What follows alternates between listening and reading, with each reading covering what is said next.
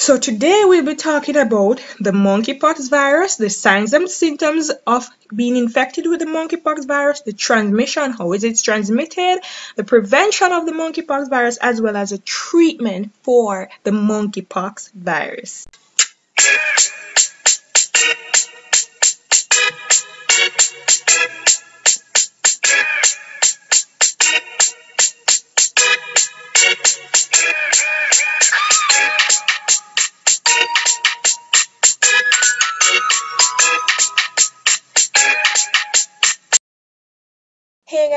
Welcome back to Nicky at your cervix. It's your girl Nicky here, and if you're new here, welcome. Don't forget to hit my subscribe button, turn my post notification bell on so you can get an update every time I have a new release. And follow me on Instagram at Nicky underscore at underscore your underscore cervix for lots more interesting content. So, the monkeypox is a rare disease that is caused by an infection with the monkeypox virus. Yes, it is a virus. So this monkeypox virus belongs to this family of virus called orthopox virus. And it's um the genus is similar and includes virus like the variola virus, which we see in smallpox as well as what we see in the cowpox virus. So all those viruses are in the same genus of viruses. So it was first discovered in 1958 when two outbreaks of pox-like disease occurred in colonies of monkeys kept for research. The first recorded case of the monkeypox virus was in 1970 and they found that in the Democratic Republic of Congo during a period when they were trying to eliminate the smallpox virus. So now monkeypox cases in people have occurred outside of Africa and it's linked to international travel or imported animals to different countries and that's why it's being spread to different countries. So the natural reservoir of this monkeypox remains unknown. So however, they're thinking that African rodents and non-human primates like monkeys, as we said before, may harbor the virus and infect people. So what exactly are some of the symptoms you experience when you are infected with the monkeypox virus? So well in humans the symptoms of monkeypox are similar to similar to but milder than symptoms of smallpox. So monkeypox begins with a fever, then you have some headache, muscle aches and exhaustion. The main difference between the smallpox and the monkeypox is that the monkeypox causes lymph nodes to swell or what we call lymphadenopathy and the smallpox does not. So what we call lymph nodes are what we in Jamaican terms, we call that the Waxan Canal. So you have swollen areas in your neck, in your groin area, in your armpit area, and those are your lymph nodes being swollen. And we see this in monkeypox. And within one to three days, sometimes longer, after the appearance of your fever, the patient develops this rash, often beginning on the face and then it starts to spread to the different parts of the body. So lesions progress through the following stages before they fall off. So they first starts as a macule, then they start becoming a papule, then they become a vesicle, they be then they become a pustule, and then they become scabs.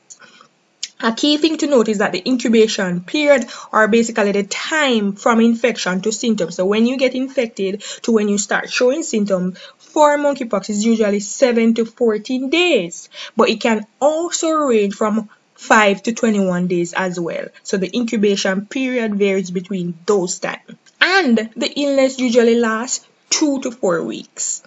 So how is the monkeypox transmitted? Well, transmission of the monkeypox virus occurs when a person comes in contact with the virus from an animal, human, or other material contaminated with the virus. So the virus enters the body through broken skin, even if these broken areas in your skin aren't visible. So even if you can't see a part of your skin that is broken, the virus and a broken part is there, the virus can enter through there. It also enters through your respiratory tract or your mucous membrane like your eyes, your nose, or your mouth. There's also animal to human transmission due to a bite or scratch from that animal, due to bushmeat preparation, or even direct contact with body, body fluid or lesion material or indirect contact with lesion material such as through contaminated bedding. There's also human to human transmission through mostly respiratory droplets, so in the air. And the respiratory droplets cannot really travel more than a few feet. So you get it mostly through prolonged face-to-face -face contact.